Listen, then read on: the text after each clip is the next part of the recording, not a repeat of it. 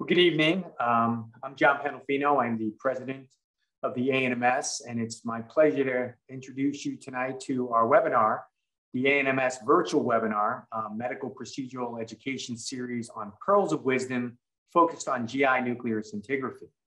Uh, but before we get started, I just want to remind everybody, you saw the announcements. Um, we're having our annual meeting at the Fairmont in um, Austin, Texas. And remember, mark those dates, August 11th through 13th. Um, and also be prepared for our deadlines coming up pretty quickly for our grant deadlines of October 14th. And then of course, the deadline for the mini sabbatical is December 1st, um, 2022. So it's really my honor tonight to, to introduce uh, the moderators. And I'll start with Jason Baker, who's a, a close friend and colleague over many years. I think everybody knows Jason for all the work he's done in terms of standardizing motility lab operation. He's been a crucial member of the ANMS, uh, serving on council and really participating in multiple uh, conferences. And then, of course, a person who needs no introduction, Henry Parkman, a tour de force in gastroparesis. Uh, currently, he's the Stanley Lorber Chair in Gastroenterology at Temple, where he's been since 1990. Uh, what, what a sustained tenure at, at Temple. Um, he's also a, a, member of the NIDDK Gastroparesis Consortium and literally a world expert on everything gastroparesis. So I feel very comfortable handing over the symposium to my two moderators tonight. Thank you. Thank you, Dr. Pandolfino, for the kind introduction. Um, welcome, audience, to this exciting um, presentation series. Looking very forward to it and, and have an honor to share this moderating station with uh, Dr. Parkman, which has been a good friend for a very long time. So for people who want to put some questions, in, please put them in the Q&A, the little icon on the bottom of the screen, not the chat box. And Dr. Parkman and I will um, uh, work our way through each one of those questions and try to get all questions answered. Um, and, and, Dr. Parkman will introduce our, our, speaker for the evening. Thanks, Jason, and thanks, John. Uh, welcome, everybody, to this session on GI nuclear scintigraphy. Our speaker tonight is Duane Burton, and he certainly has made a uh, career in different pathways. He kind of has something for everybody out there. Uh, he came, he's been at Mayo Clinic for a long time, 43 years, came on as a GI assistant, then actually uh, became the manager of the GI diagnostic uh, procedure unit at St. Mary's, which is the hospital, uh, the primary hospital, at least it was for Mayo Clinic. Then he went to the research world, and that's where I've gone uh, to know him through his publications. He's worked with Dr. Michael Camilleri. Well, that's a great name because he's done a lot in gastric emptying scintigraphy. And uh, Duane is probably his right hand man because uh, I see him on all his papers. Usually, Michael Camilleri is the uh, second author of the manuscripts. The first author is the uh, person who does it, and Duane is usually uh, a little bit later but he's been um, doing a lot in GI um, uh, scintigraphy there with the gastric emptying test, the four hour scintigraphy test with gastric accommodation test, as well as whole gut transit scintigraphy. He's still doing that now, but he's also progressed further. He's uh, now an assistant professor at Mayo Clinic. He's actually, his current role is a program manager supporting a variety of areas, not only the motility world, but also the Advanced Endoscopy Research Center. So we're very happy to have Duane Burton talk in the area of, of GI nuclear scintigraphy, someone that uh, does the tests and helps analyze the tests and actually uh, writes papers on the tests. Duane, thank you. Thank you very much. And I will uh, share my screen. So thank you, Dr. Parkman, for that introduction. And I want to thank Dr. Baker and Dr. Pandolfino and the AMS for the invitation to present today. It is my distinct honor to present to our gastrointestinal colleagues and others attending the today's symposium on GI nuclear scintigraphy.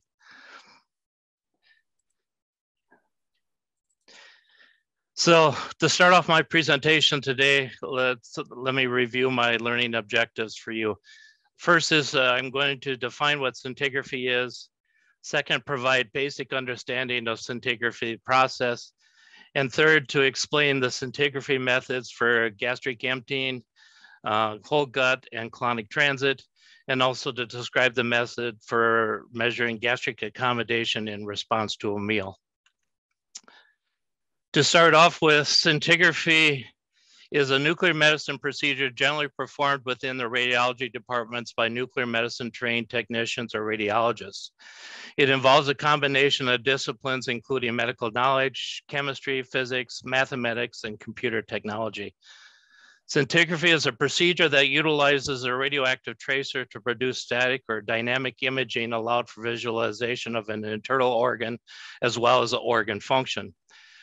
Uh, to bring this into perspective, a static image uh, would be similar to taking a photograph, where a dynamic imaging would be similar to video recording. Scintigraphy involves the administration of a radioactive tracer given intravenously or by ingestion or by intraperitoneal injection. It is one of the many tools in a battery of diagnostic physiologic tests available to medical providers to aid in determining the differential diagnosis for specific GI dysfunctions.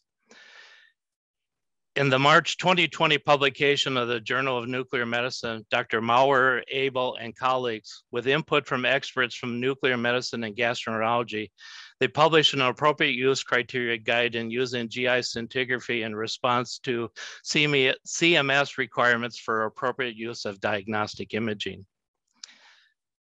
So to understand what a radioactive tracer is, is we first must start with some basic chemistry. Simply an atom of an element consists of protons, electrons, and neutrons with an equal number of, of each to maintain a neutral electrical charge. A radioisotope results when there is an imbalance of protons to neutrons in the atom's nucleus.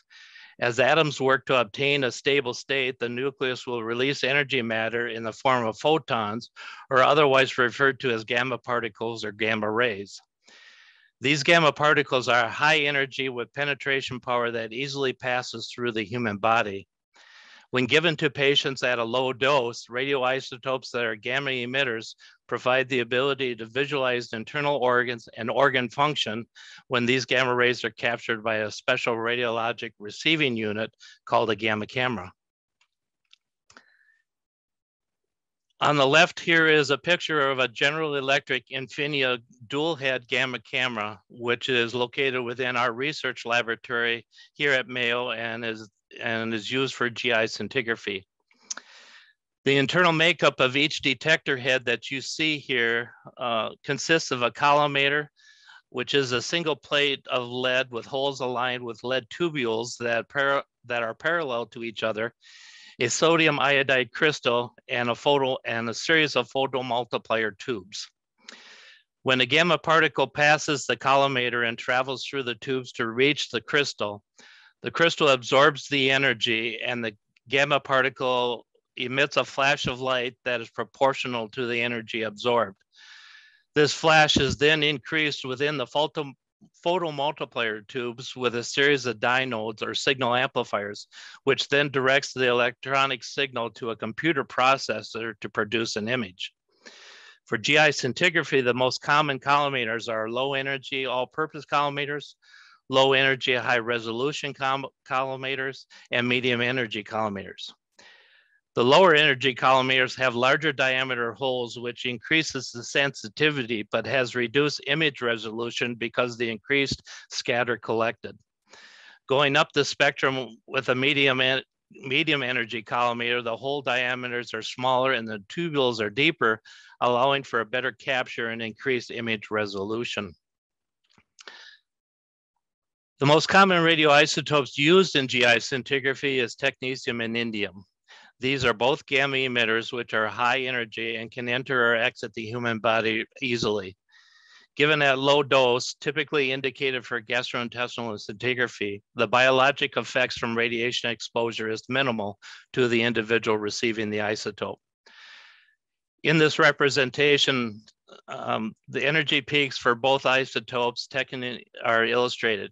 Technetium is rep represented here in blue as the most common radioisotope used in GI scintigraphy because of its low energy and short half-life of six and a half hours. Indium represented here in red is an isotope generally used for whole gut scintigraphy and colonic transit because of its longer half-life of 2.8 days, allowing for a visualization of the colon at 48 and up to 72 hours after dosing. For GI scintigraphy, the gamma camera is set to filter based on the energy spectrum of the isotope or isotopes being used. In our practice, the gamma camera processes are set to look at a 10% window either side of the isotope peak. Indium has two energy peaks, and when assessing colonic transit and indium is used alone, the camera can be set up to look at both peaks. However, when colonic transit can also be performed in combination with technetium in whole gut scintigraphy with the same with the gamma camera set to look at the technetium peak and then the second peak of indium. Of note, I want to show that uh, the first peak of indium does fall within the technetium window. So when using both isotopes uh, during a scintigraphic scan and in the analysis of the technetium window, it would require uh, a calculation adjustment, uh, subtracting the pot potential of downscatter from the indium activity into the technetium window. As I have mentioned, technetium indium are our most common isotopes used for GI scintigraphy, but the carriers of the isotope will vary based on the intended radiologic use. Technetium sulfur colloid is an excellent marker when used to label solid or liquid components of test meals for measurement of esophageal clearance and reflux, along with assessment of gastric and intestinal transit. Tech, India, tech and indium DTPA or diethylene triamine pentaacetic acid, better referred to as DTPA, uh, can also be used as a liquid phase marker. When both solid and liquid gastric emptying test is performed, it re requires the use of two different isotopes to allow for accurate visualization of the different phases. Technetium is used to label the solid field, solid phase, and indium would be used to uh, label the liquid phase.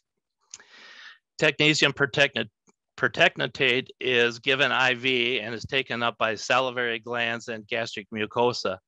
Pertechnetate is cleared from this from the, the body system through the renal and urinary excretion system. Tech labeled red blood cells are used to identify intestinal bleeding sites and can be used to identify liver hemangiomas, where tech uh, or Choletec uh, is used for imaging the liver, hepatobiliary system, and the gallbladder. And TEC, macroaggregated albumin, uh, can be given intraperitoneally and is not absorbed and can be used uh, to assess peritoneal shunt uh, patency. And finally, indium chloride is uh, a radioisotope that uh, we use in bonding with activated charcoal uh, and used in measurement of colonic transit, which I will be uh, discussing here shortly. Here's a list of GI scintigraphic tests uh, available through many nuclear medicine departments to be used as diagnostic tools by the medical provider. For the remainder of my presentation today, I'll be focusing on GI transit studies and gastric accommodation assessment, which are highlighted here in the light blue. So let's get into how GI scintigraphy is performed, starting with gastric emptying. Here are some of the indications in which, a medical provider may order a gastric emptying test. So for indications of chronic nausea and vomiting, dyspepsia, early satiety, fullness and bloating, suspicion of gastroparesis, evaluation, uh, post-operative assessment, and of course for research purposes. Gastric emptying can also be assessed via different modalities such as spirulina breath test, wireless motility capsule, and scintigraphy. Each use may be dependent on the indication, the availability of the test itself, the cost associated with the test, and ultimately provider preferences. Each modality will provide useful information related to gastric emptying, but scintigraphy is, con is considered the gold standard. So gastric emptying starts with a preparation of a radio-labeled test meal. The recommended solid test meal is that is endorsed by the ANMS and the Society of Nuclear Medicine is a low-fat egg beater meal that consists of four ounces of the egg beaters, two slices of white bread, 30 grams of jam, and 120 mils of water uh, all equates to about a uh, caloric value of about 250 kcal. In the event of egg allergies, some centers may use alternate meal compositions such as radio-labeled Ensure, cereal, or oatmeal. These alternate type meals would need to be validated to establish normal value ranges in comparison to the egg meal, but still can be used. The report validity when using alternate meal compositions would be at the discretion of the medical provider in the context of the patient's reported symptoms. In the event that patients have a gluten intolerance, the bread can be substituted with gluten-free bread. The pictures here represent two methods of planar imaging using a single and a dual head gamma camera. When using a single head, anterior and posterior scans are obtained independently whereas the dual head camera allows for the acquisition of both anterior scans to be done simultaneously. When liquid gastric emptying is ordered in combination of the solid phase, indium DP, DTPA is added to the water and the gamma camera protocol is set up to measure both isotopes as previously described. This is a representation of the anticipated gastric emptying rates of liquids and solids in health and in gastroparesis. Gastric emptying curves uh, for these liquid and solid meals were derived based on a meta-analysis of data available in the literature. And as you can see, uh, water or 5% glucose uh, empties quite quickly as compared to the opposite spectrum where a high fat solid meal in the presence of gastroparesis empties significantly slower. So this is a represent, representation of acquired anterior gastric images using a color palette to better illustrate the distribution of counts within the image. At the time of the analysis, the technologist will draw a region of interest around the borders of the stomach at time zero, which is immediately obtained after the final bite of the radio-labeled test meal. The computer then provides a numeric value of the activity within the ROI based on the number of intensity, based on the number and the intensity of the pixels. The zero minute scan serves as the 100% reference from which the subsequent scans are measured. Additional ROIs are drawn around the stomach margin in the later scans with the activity counts provided. This same process is performed on posterior scans. I will draw attention to the value at the two hour or 120 minute scan. These counts being slightly higher than the previous scan represents a relative position of the radio labeled contents of the stomach being closer to the camera during the anterior imaging. These activity values are then used in an automated or manual process for calculating the radio labeled meal retention or the inverse, the proportion of the meal emptied from the stomach. This is an example of a spreadsheet with a manual input of the anterior and posterior ROI counts with the corrections uh, in the geometric uh, mean column for which is a correction for tissue attenuation and the correction for decay of the radioisotope based on the time that the scan was get uh, was obtained. I will again draw your attention to the 120 minute scan and notice that the inclusion of the posterior counts in the calculation combined with the activity corrected for tissue attenuation and decay provides a represent, representative value of retention or emptying for that time point. The graphing of the proportion emptied for each time period provides a clear picture of the emptying rate for that test. Here's another example, but this is an automated gastric emptying report utilizing a commercial application from MIM software uh, from Cleveland, Ohio during gastric emptying and, and at times the patient may not be able to eat the entire test meal. When this occurs, discretion on whether to proceed with the testing is left to the medical provider requesting the test. When directed to proceed, the amount of the meal consumed is recorded and is a variable considered when interpreting the results of the test. In addition, there are occasions when a patient may vomit following ingestion of the test meal. When this occurs, the vomitus is considered a radioactive spill and must be cleaned according to radiation safety guidelines. The continued conduct of the test may be contingent upon the amount of the test meal lost. And again, continuance in the interpretation of the results would be at the discretion of the provider. So moving to whole gut and colonic transit, here are some indications for ordering these tests. There may be chronic unexplained diarrhea, constipation, abdominal pain and bloating, a suspected motility disorder, and, and once again, research. Colonic transit, similar to gastric emptying, can be assessed via different modalities, such as with the use of the ingestion of radio-opaque markers, followed by abdominal x-rays taken the next day or days later. The wireless motility capsule and scintigraphy. Again, the type of modality used can be dependent on the indication, availability, cost, and the provider preference, but since scintigraphy is still considered the gold standard. For whole gut transit studies, dual isotopes of technetium and indium are used. The method for which whole gut transit is conducted may be dependent on the medical center where the test is performed. At our institution, whole gut transit testing includes the same preparations of the test meal for gastric emptying, but also includes the preparation of an enteric capsule containing indium chloride labeled activated charcoal and dextrose, which is used as a ballast to add weight to the capsule to prevent it from floating on the gastric contents. Once the capsule is prepared, it is then coated in a pH-sensitive methacrylate coating designed to dissolve within the distal small bowel and cecum when the intestinal milieu is near a neutral pH.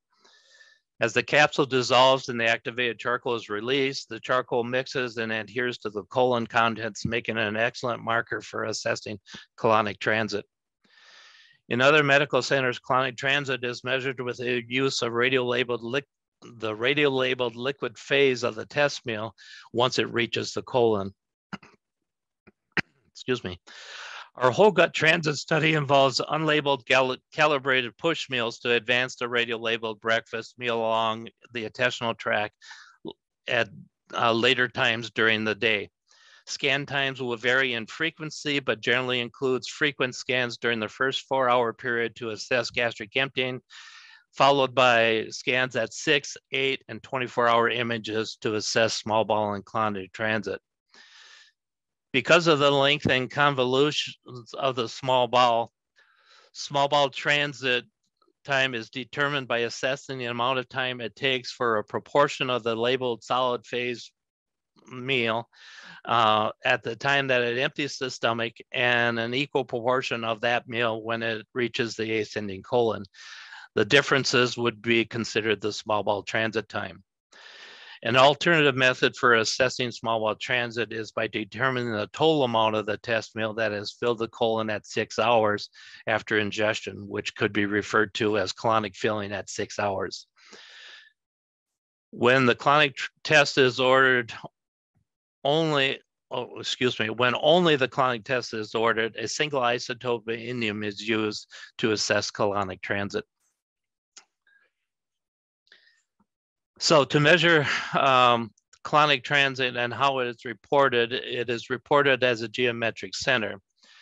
So the geometric center is a calculation based on the sum of each colonic segment, proportion of the radio labeled meal multiplied by the weighted factor for that specific segment. So in this illustration, the, the weighted factor uh, for the ascending cecum and ascending colon would be a factor of one, transverse colon of a factor of two, descending colon factor three, rectal sigmoid factor four, and anything that has left the body and would be um, captured in the stool would be a, weighted factor of five.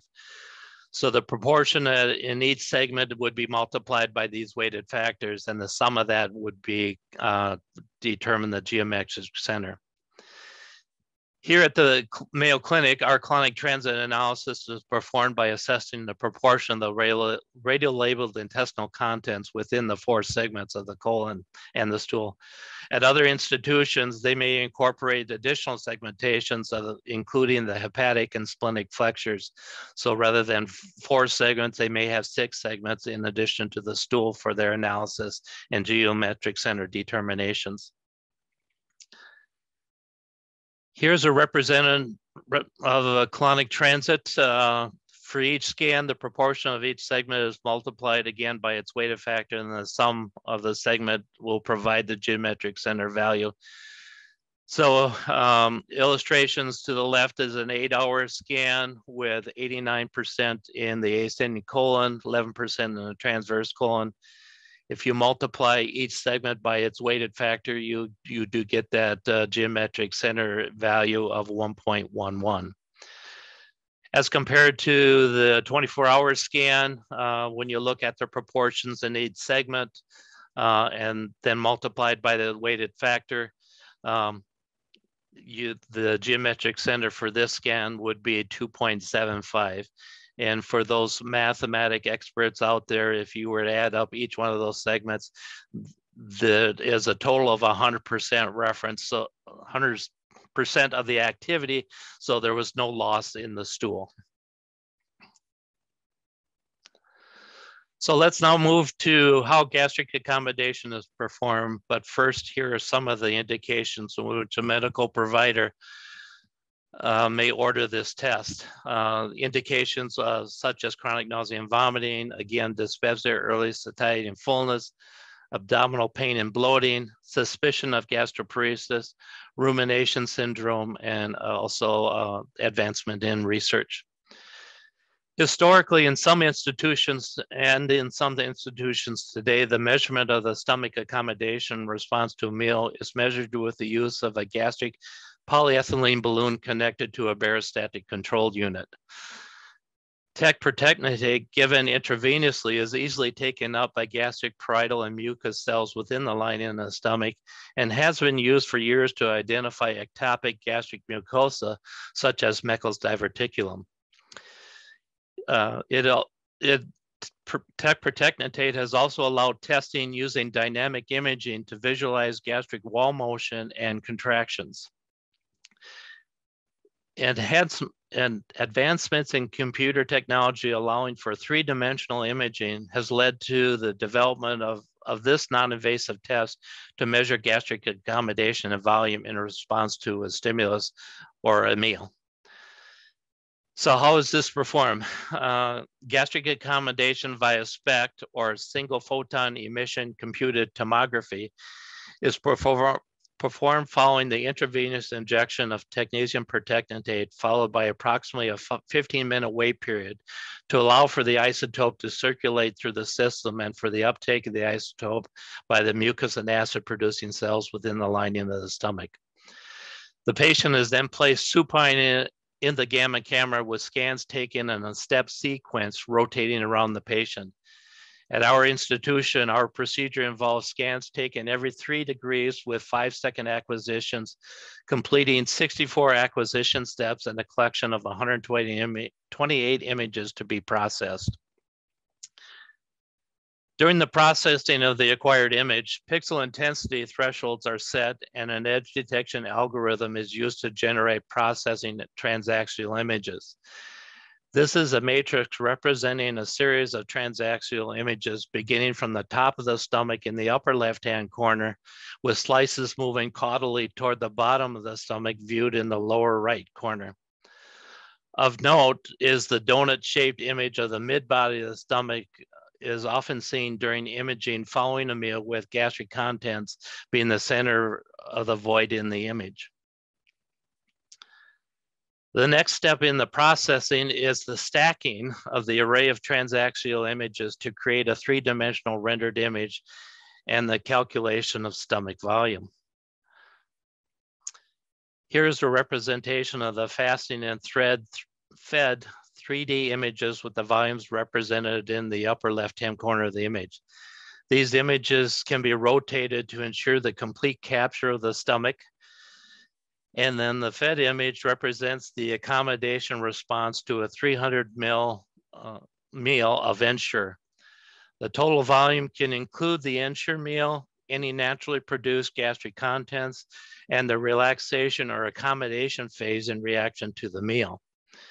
Since technetium pertechnetate is excreted through the kidneys and urinary system, it is really important to rotate the image to ensure that part or all of the kidney is not captured and included within the calculation of the gastric volume.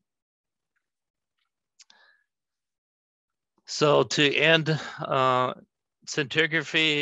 continues to advance our GI science.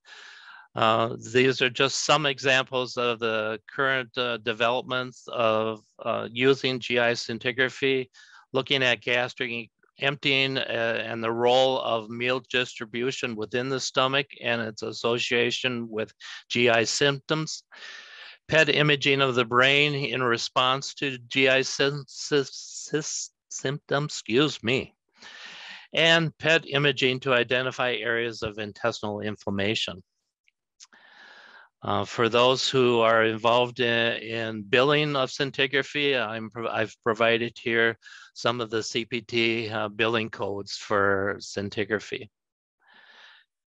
With that, I want to thank you for this opportunity to present, and we'll turn it back uh, to our moderators for questions and answers. Thank you very much, Duane. That was fabulous. And I learned quite a bit that I did not know. I was really looking forward to this presentation. Um, we're starting to get a lot of questions in the Q&A box. Um, but I, will start out with the first one and then uh, toggle back and forth between myself and Dr. Parkman. Um, I found it interesting, you know, with the different type of, of scans, one people standing up, one laying down. How about the different levels of BMI? How would that impact like the the technician or the, uh, the person helping perform the test? Is there different protocols for people with you know different levels of BMI when they do a scan? Uh, I'll take that. Um, when we um, perform the procedure, uh, the heads of the gamma camera are brought in close proximity to the body uh, to get as close to the stomach as possible. Um, in the calculations with the anterior and posterior imaging, uh, the tissue attenuation and specifically related to BMI, the thickness of the body, that uh, geometric mean provides a correction factor for the thickness of the individual. And so when um, the series of scans that are being acquired, that tissue attenuation stays consistent and we're able to accurately uh, model the gastric emptying rates associated with that. All right, thank you. Dr. Parkman, you want to do yeah, the next hey, question? Uh, Jason, uh, let me just emphasize a couple of the key points that, that I think that Duane was trying to uh, emulate. Uh, one is the gastric emptying uh, test is used with a solid meal. It's used. Um, a four-hour test is is usually done, and uh, patients sometimes ask me, "Why do you have to stay there for four hours?" I like to think of it as at four hours, the, the standard error of the normal value is very small. At two hours, it's large. So sometimes with the shorter tests, the 90 minute or two hours, it's hard to tell if someone really has delayed gastric emptying and you can really tell that with the four hour test. Plus, at four hours, that's when you're supposed to eat your next meal. So it's nice, it's nice to uh, explain to the patient, hey, you're eating your meal when you still got uh, a quarter or 50% of the meal still in your stomach. No wonder you're full, or no wonder you have uh, nausea. And also, um, Duane nicely um, put together the, a standardized test. The nice thing about having different centers using the same protocol is you can compare the results among different centers. It's sometimes hard when we see a patient clinically if they've had the oatmeal two hour test and we do the egg beater four hour test. You kind of sometimes can't really compare them. So that's just a plea to uh, have people use a standardized test that measures gastric emptying to four hours. Hey, uh, Duane, one thing that the patients sometimes tell me, two things related to their symptoms. One is, should they wait till they become symptomatic? You know, sometimes you're seeing them and they're not that symptomatic. Should should we wait till they have severe symptoms?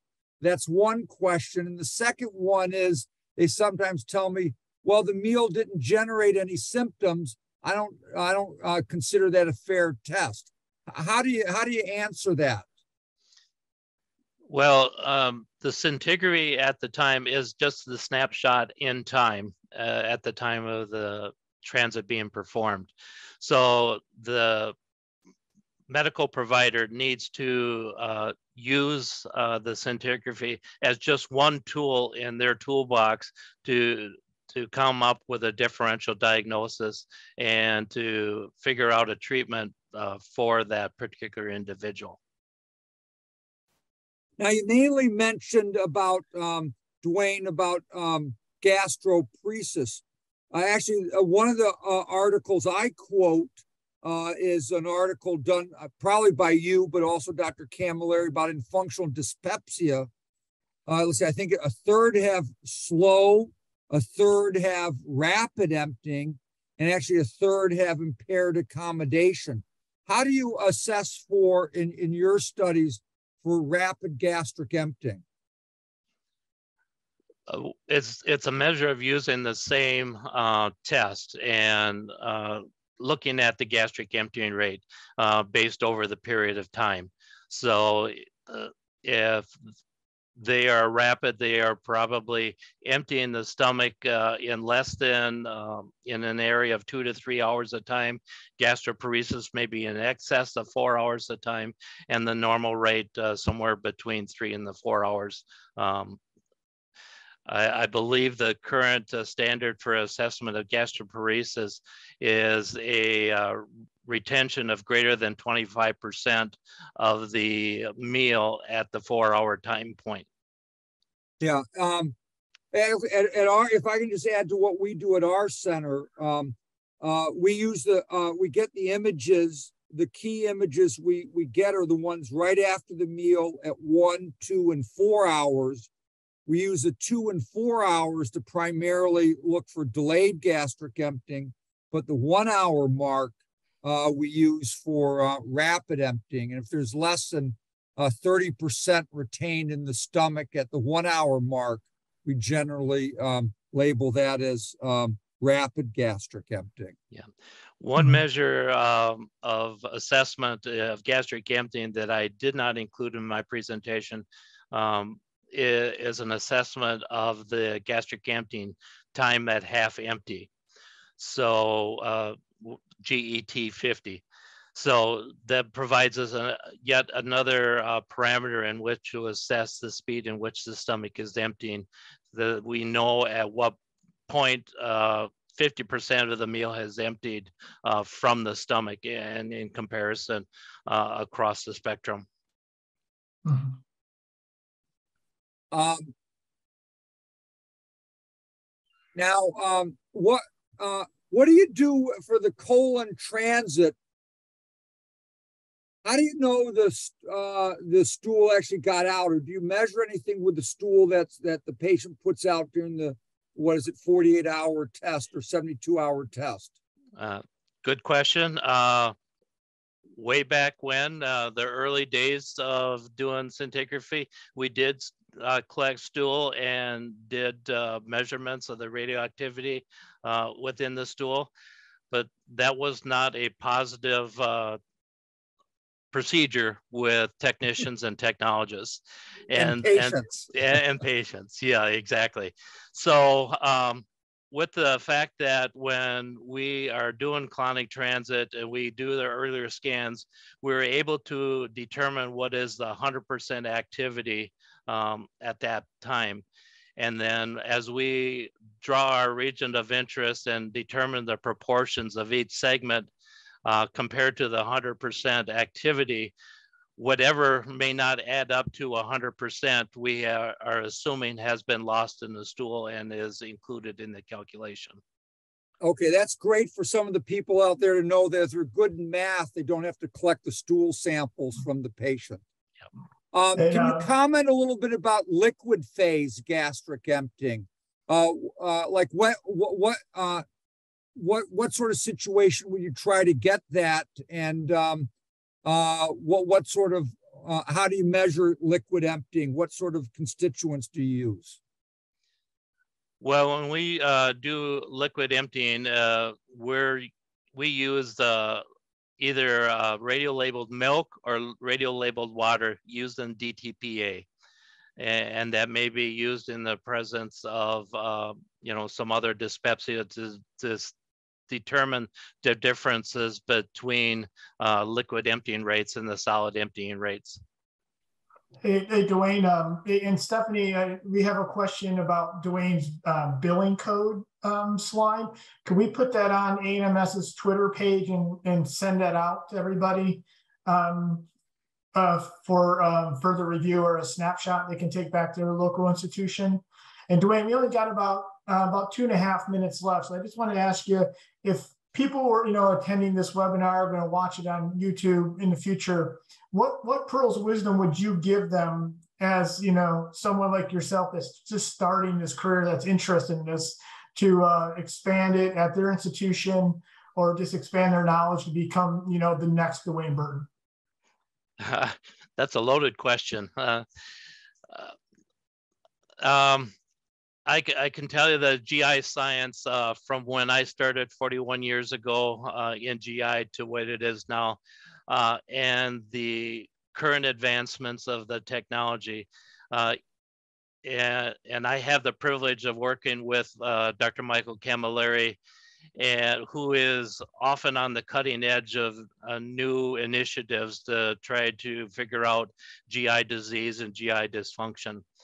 So, um, you know, it's an exciting field. It's an ever-changing field. Uh, you know, if it wasn't, I probably wouldn't have stayed within uh, the GI department for 41 years.